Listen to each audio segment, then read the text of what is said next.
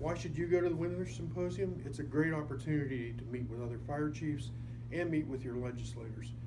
It's difficult to find good quality education as a fire chief, and I find that going to the Winter Symposium gives me a lot of great information and an opportunity to meet with other chiefs.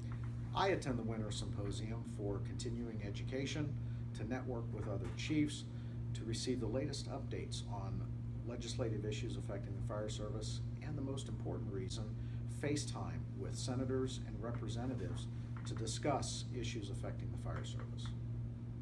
One of the things that has been most beneficial for me attending the legislative conference has been learning exactly how a bill gets through the legislature. I really didn't understand that until I attended the conference.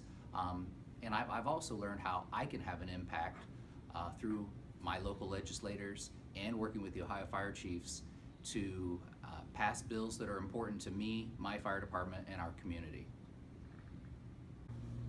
I attend the Winter Symposium not only to meet up with other chiefs across the state and talk to them about the challenges and issues that we share in common, but also it's a great time to meet with our legislators and talk to them about the, the important things that matter to me and my local community. It gives me great one-on-one time with them and build that relationship with them.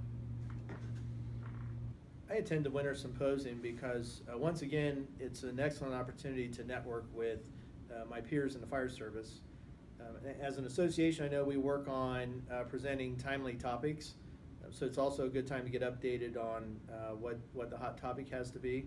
And um, with it being at the State House, uh, it, once again, it is an excellent opportunity to meet with uh, the 132 legislators that we have in the state, um, trying to move uh, any of our issues forward. For more information, log on to www.ohiofirechiefs.org.